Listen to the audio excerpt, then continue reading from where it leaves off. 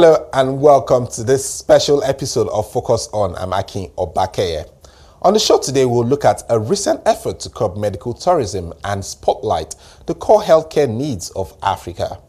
The African Medical Center of Excellence is a visionary initiative of Afreximbank and executed through collaborations with both international and Pan-African partners. The 500-bed facility in Abuja, with an initial investment of $300 million for the first phase, plans to provide world-class medical care and groundbreaking research. I'll bring you highlights of the inaugural conference, which is positioning itself to become a platform where African leaders policymakers and stakeholders in the medicine and science fields exchange insights in line with the objectives of the African Union's healthcare goals outlined in the Agenda 2063.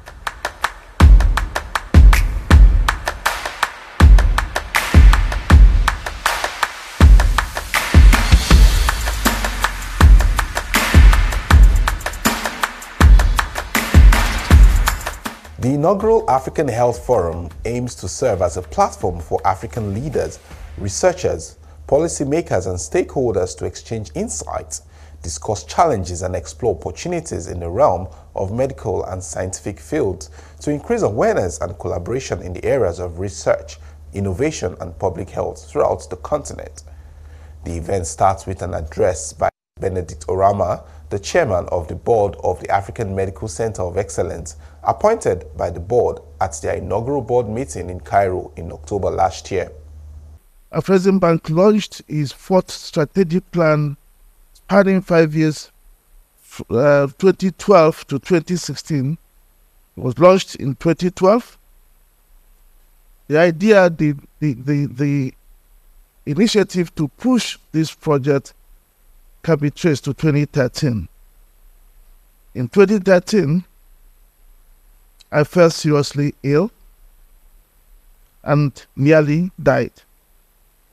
I was evacuated to King's College Hospital, London, after we had, at our bank had, checked everywhere in the world to find where they'll get the best expertise for the kind of condition I was diagnosed with. Three independent checks all went back to one name, Professor Ghulam Mufti. So we contacted Professor Mufti. And he was kind enough to agree to receive me immediately. And he not only agreed to receive me, he also started giving advice to the doctor who was handling my case then in Cairo as we prepared for the evacuation. It was a difficult process of evacuation because I had to be brought there before a weekend. We managed to do it, but the experience was not easy. But all through that period, through 2013, when I was in the hospital, we became very good friends. And when I recovered, the issue was if I didn't have the support of Afreximbank, if I didn't have the opportunity to come to King's College Hospital in London, if I didn't have the opportunity to find a Professor Ghulam Mufti, no matter what it cost, I wouldn't be alive. And then, all through the process while I went in and came out of coma, I always ask God, I know you will never come out to tell me why you, you kept me alive. But I want you, your wisdom, to find a way of showing me. And a few fortuitous events led a convergence of views, I found out of Professor Mufti's interest to develop quality healthcare in Africa. I then also remembered of our aspiration in our strategy to do the same.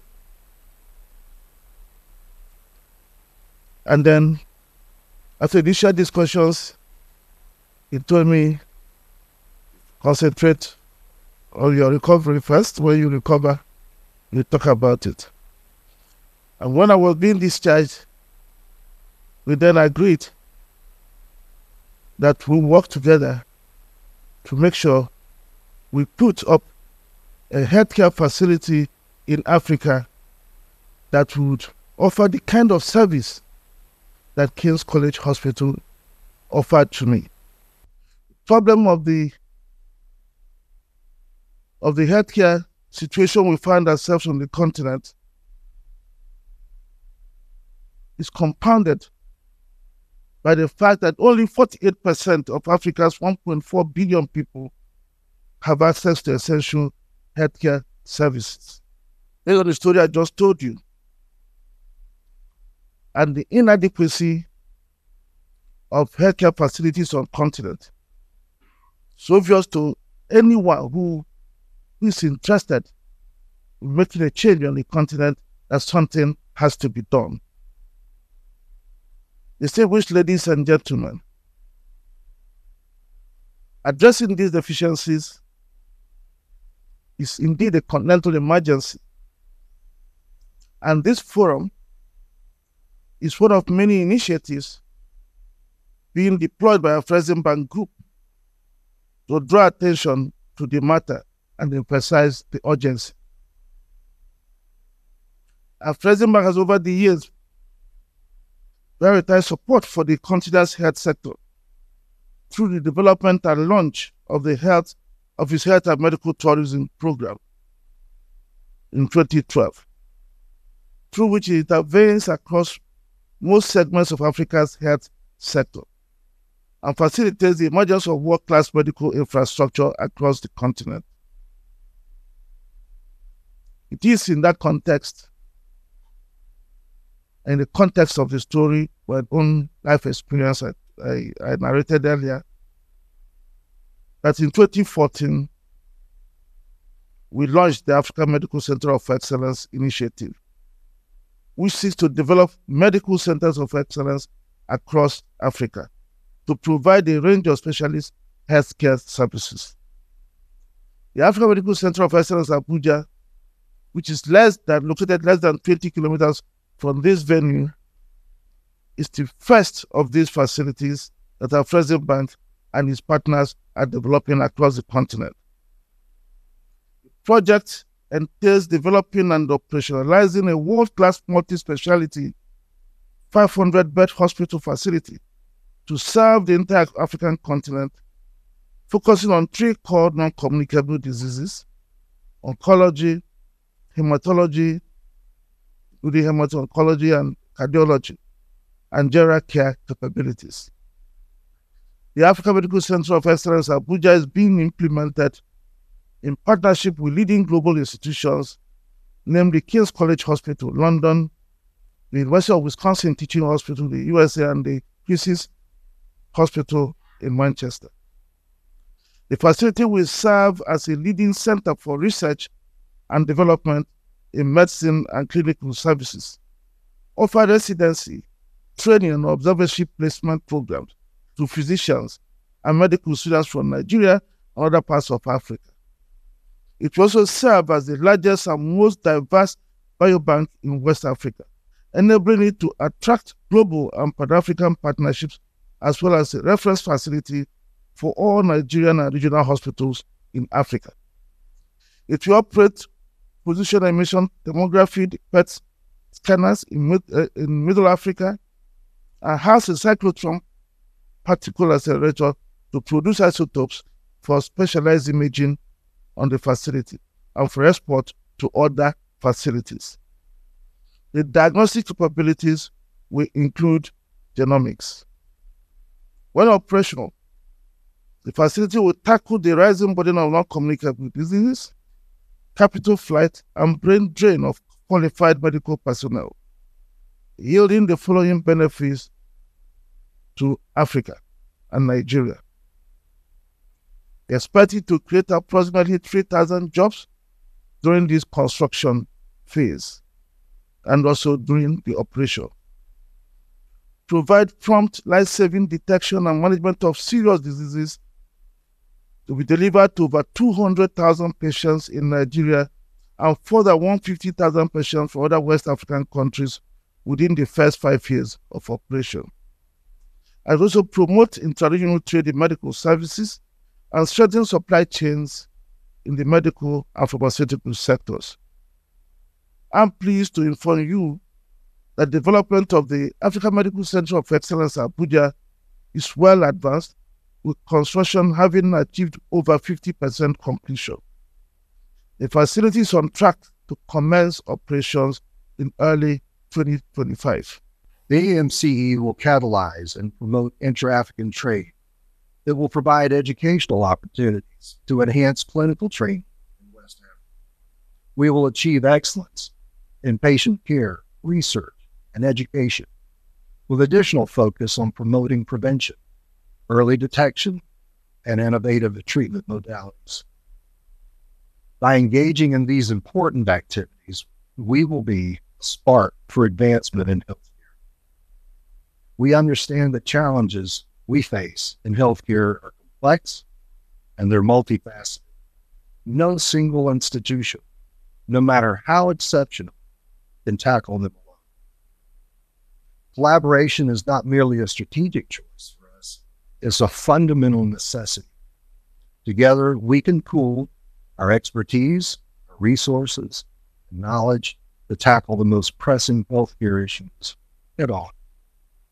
Our work will extend beyond geographical boundaries, transcending uh, borders to create a united front against diseases that know no borders themselves. I am really supportive of what this initiative could do to the health ecosystem. And I think you called it the value chain in Nigeria. Because we have to be honest, too many wealthy Nigerians are traveling abroad for their healthcare. There is a there's a billions dollar market here to tap into that can finance that ecosystem.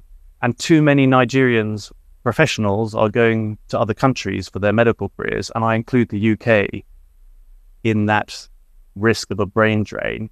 And Madam Dabiri, we need to work together on this with NIDCOM on a reverse JAPA of Nigerian Nigerian health professionals. And I tell the India story because India's done it. They have created a massive value chain health system. Some of the best tertiary healthcare in the world are in places like uh, New Delhi, in Mumbai, in Hyderabad, etc. So I think, why not in Nigeria? And this is the first step. All healthcare workers, NGOs, training institutions, government organizations are some of those we're reaching out to and would continue to do this until the opening of the hospital. We're determined to provide quality end to end care in the three uh, recognized prioritized non-communicable areas of oncology, cardiology, and hematology. We believe that we would be able to reduce brain drain if we get to employ some of the healthcare workers that are heading out because we provide enabling environment and we would also influence reversal of the drain. So the departments of this hospital are numerous, but as you can see, they're all connected and the care would be multidisciplinary. We would use advanced technology to provide special, specialized care in the centers of excellence, the three centers of excellence, and they would all be working towards uh, training and research, and it would be patient centered. The international collaboration for this hospital has already started with the King's College Hospital, but we would also partner with others. There is um, the Christie's Hospital in uh, Manchester that is responsible for the cancer care in our facility.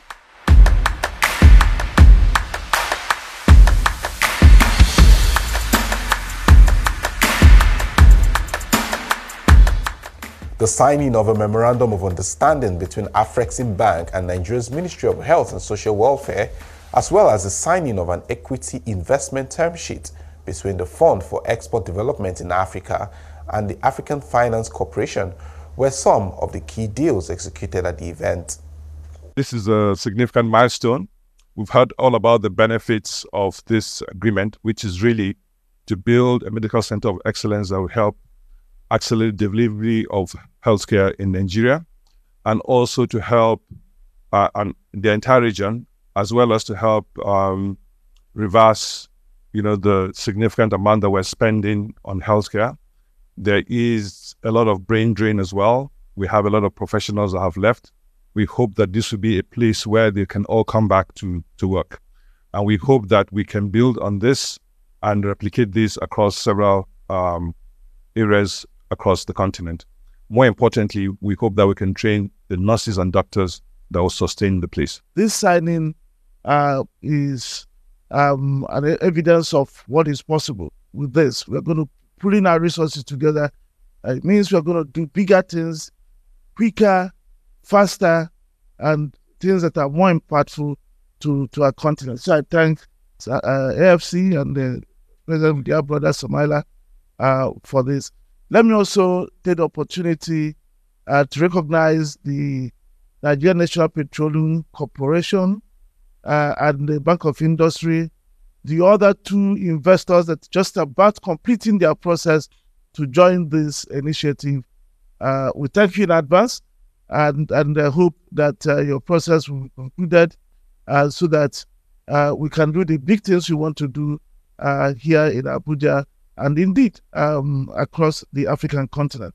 For Nigeria, being the first country to have the AMC facility, it serves as a clarion call to fast track interventions in the health sector. We need human resources. We're bleeding human resources. 3,000 physicians out of about 5,000 a year that we train actually work out uh, of our country to many countries who are much wealthier and who are needy of those human resources because we do a good job of training our health workers. So how do we address that? So I'm really glad that King's College London is partnering with Afreximbank to expand the medical school, nursing school, so that we can train more. Just as we've also doubled the quota for our nursing and midwifery school, and I see the registrar here in the last few months doubled the quota so that we can accelerate the training of the health workforce. So if some people leave, at least some will stay.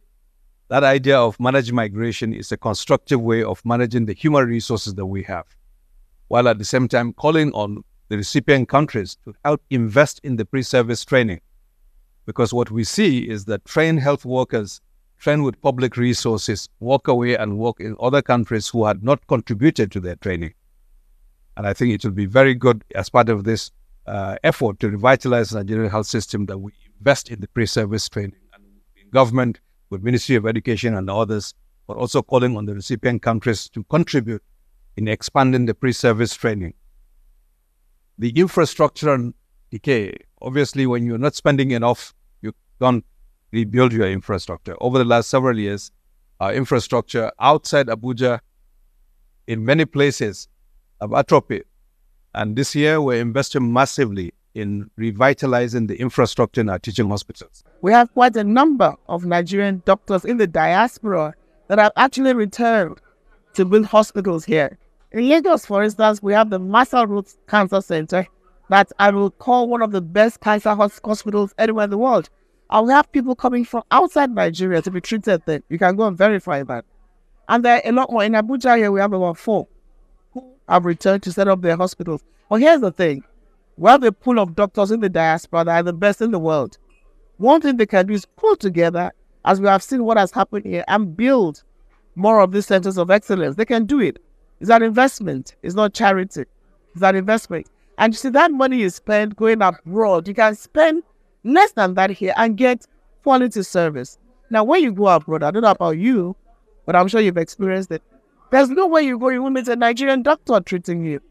And they are simply the best. And we are Nigerians, we're the best in everything we do. And that is a reality. So we can pool resources together and do more of this here. And here's the thing, fine, we have a lot of people migrating particularly in the healthcare industry, it's okay to migrate. There's nothing wrong with migrating. But if Nigeria trains more in the industry, then those who migrate will migrate, those who stay will stay. And then when they see hospitals like this, they can return and contribute to the growth and development of the country. So I see everything as a positive development, but we need to do a lot more. The enabling environment needs to be better. And the Minister of Health talked very well about this. You can see what this administration is doing in that regard. So I'm very optimistic. I'm very, very positive. Achieving such a feat takes shared commitment to partnerships, one that cuts across the value chain in the health sector. It was the ambition that if we are going to do this, we cannot go alone. Afreximbank, as you know, is a development finance institution. We have our strength in financial affairs, in advocacy, in uh, advisory, in policy support, etc. But we are going into a new field and a new realm, which is development of medical and healthcare facilities that are world-class standard across the continent. And we realize that if we are going to go on this journey, we need to go with partners. And uh, we identified several partners, one of which is uh, King's College Hospital London. And at that time, Professor Mufti was the non-executive director in King's College and he was a co-missioner with Professor Oramah. So it was a good fit for us to work together. One thing I can say is that because of that partnership, the bank was able to do something that was extraordinary. The bank was able to take from a dream to reality. And you've seen this. You've seen the African Medical Center of Excellence coming into reality. You've seen the pictures of the building. But more importantly, you've seen the people who are going to carry out and drive that vision. You've seen the CEO, uh, Mr. Brian Dimber. You've seen Dr. Aisha, who is the Chief Medical Officer, Dr.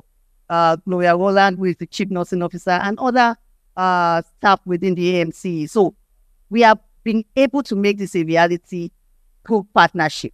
If you've had a vision and you enlist a partner who shares the vision, then the chances of the vision coming to reality is real.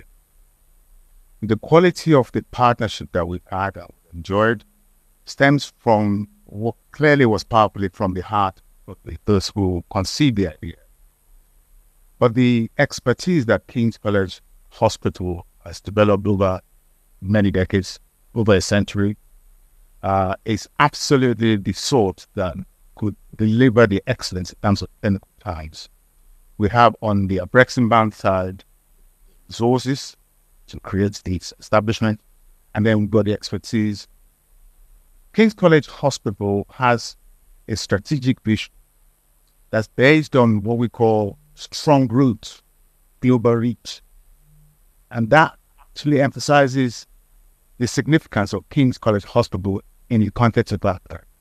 It's a hospital that employs close to 15,000 people and a significant proportion of those, I won't put exact figures on it, but more than a couple of thousands are from West Africa. Yeah, they may have been proceeds of Japa, come over there, but the reality is they contribute to the functioning of kings. It's only befitting, therefore, that if there was going to be an NHS expert-based hospital that's going to partner with this vision, that's going to reverse the brain drain, going to reverse the tourism, it makes sense for it to be King's College connecting people in this context is about the team. It's about being listened to. It's about being able to contribute in the areas where you feel you can add the most.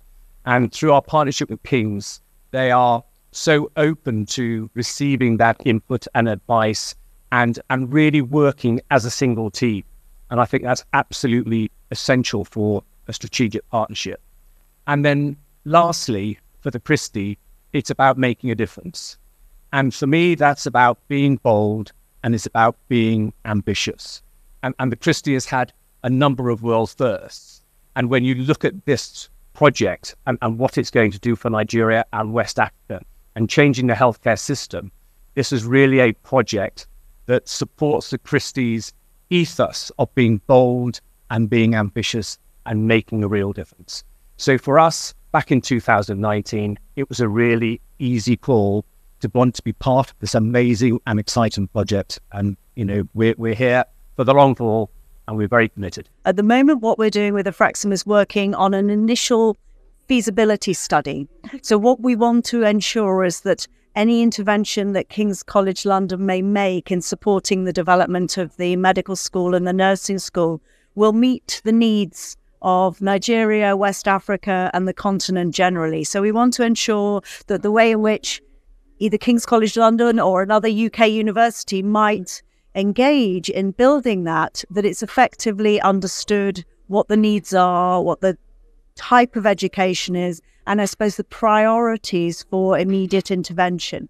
So at the moment, we're meeting with a range of stakeholders, with the National Universities Commission, TET Fund, the national regulators for medicine and dentistry, nursing, midwifery, um, and uh, uh etc., to really understand how within that framework might we build an innovative um, education provision that's driven by excellence and shares something of the ethos and the standards that we've established over a number of years at King's College London. Um, and one of the key elements that we would bring to any project of this type, and certainly in our early stage thinking in the way that we are now, is probably about the centrality of research to um, the development of the education provision.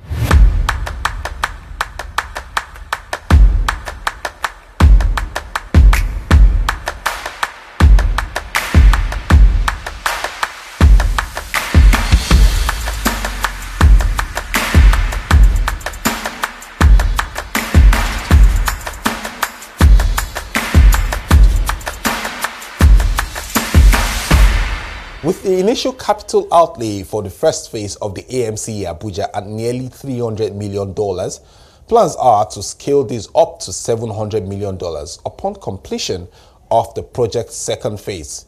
Commission of the facility is set for 2025 and this will be the first of many being considered across Africa and will serve as the headquarters for AMC on the continent. Well, that's all we can take on this episode of Focus On. Until next time, I'm Akim Obakeye. Bye for now.